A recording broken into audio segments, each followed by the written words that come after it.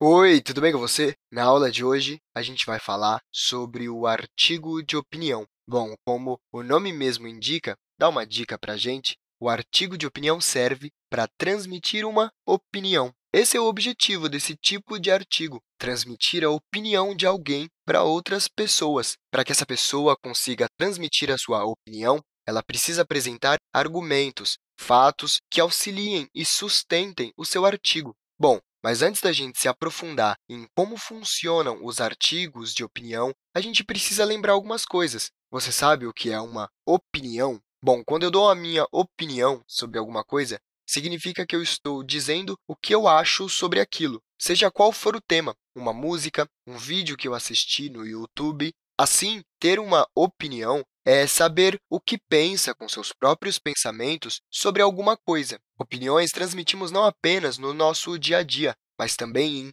comentários na internet ou artigos em jornais, por exemplo. Além disso, você sabe o que é um argumento? Eles são muito importantes caso queiramos dar nossa opinião sobre assuntos que nos interessam. Para um artigo de opinião, os argumentos para dar base à nossa opinião são essenciais, e tais argumentos podem ser dados científicos, como estatísticas, por exemplo, ou também matérias jornalísticas comprovando fatos, enfim. Bom, vamos ver algumas características que nos ajudarão a como identificar um artigo de opinião. Sempre que você for escrever um artigo de opinião, é muito importante que você dê atenção ao planejamento como, por exemplo, os dados e as fontes que iremos utilizar para dar base àquilo que a gente acha. Dados científicos a partir de pesquisas reais e fontes que atestem o seu valor são muito importantes dentro da formação de uma opinião. Além disso, é importante considerar também o contexto de produção, ou seja, para quem você vai dar a sua opinião, quais são as pessoas, qual o seu público e, principalmente, quais são as suas intenções ao dar esta opinião. Além disso, a preparação de argumentos é essencial dentro do nosso artigo de opinião. Isso porque são com eles que nós iremos convencer quem está lendo o nosso artigo sobre aquilo que a gente acha. Por último, e não menos importante, para que consigamos preparar os nossos argumentos, escolher os dados e as fontes que irão dar base a eles, escolhermos também a maneira como iremos apresentar a nossa opinião nós, então, precisamos ter em mente sempre que é necessária uma postura ética em torno da apresentação da nossa opinião. Isso porque, a partir do momento que recolhemos dados e fontes para defender algo que acreditamos, estamos assumindo algo que se dispõe a convencer outra pessoa a partir daquilo que você mesmo acredita. Leremos agora um exemplo de um artigo de opinião. Aqui, o autor apresenta seus argumentos e tomou provavelmente um tempo prévio para planejar o artigo antes de escrevê-lo. Precisamos proteger as crianças do trabalho infantil. O trabalho infantil é uma gravíssima violação dos direitos humanos. A pobreza e a desigualdade social fazem com que os filhos e as filhas de famílias mais pobres tenham poucas oportunidades de escolha e desenvolvimento na infância e adolescência ficando sujeitos a menores salários e vulneráveis a empregos em condições degradantes, perpetuando assim um círculo vicioso de pobreza.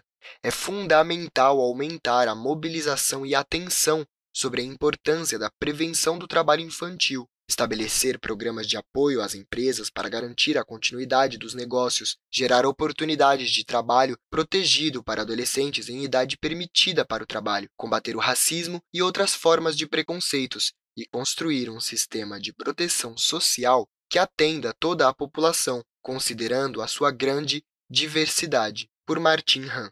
Bom, aqui nós temos algumas características que podem transmitir para a gente que este texto é um artigo de opinião, a começar lá pelo final, onde vemos a assinatura de quem escreveu o texto. Diferentemente de um editorial de jornal ou revista, por exemplo, onde se empenha para escrever um texto do qual transmita a opinião do jornal, um artigo de opinião possui no final o nome de quem está dando esta opinião.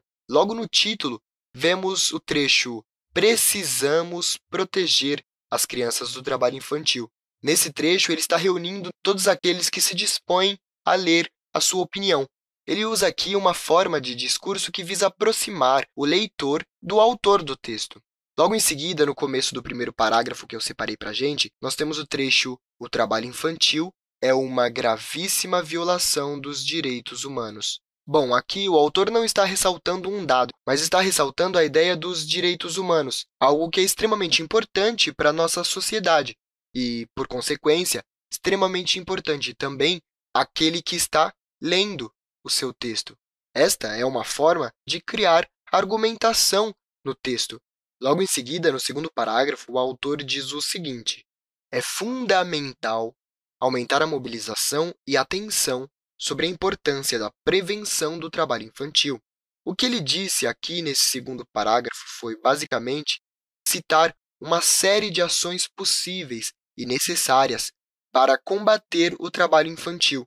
Ele não só apenas apresentou suas opiniões e tentou convencer o leitor, mas também tentou apresentar propostas que pudessem favorecer o seu pensamento, aquilo que ele acredita, estabelecer programas de apoio, gerar oportunidades de trabalho, enfim. Além disso, numa outra parte do texto, nós temos também dados que servem para fundamentar a opinião com mais consistência, dados científicos, dados reais, que virão para fortalecer a ideia do autor, como, por exemplo, deste trecho que eu destaquei do resto do texto. Apesar dos avanços na luta contra o trabalho infantil alcançados pelo Brasil nas últimas décadas, existiam 2,4 milhões de crianças e adolescentes entre 5 e 17 anos ocupados no país em 2016, segundo o PNAD contínua do IBGE.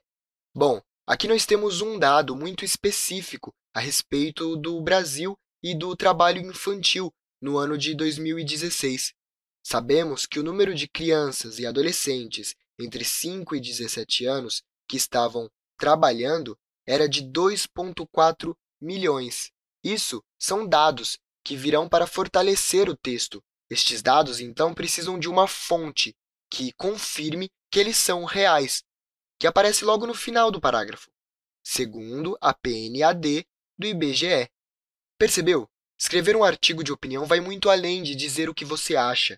A gente precisa de dados que deem fortalecimento à nossa opinião, com fontes verdadeiras, com fontes reais. Bom, eu vou ficando por aqui. Espero que você tenha compreendido o conteúdo da aula de hoje. A gente se encontra, então, numa próxima aula. Até lá e bons estudos!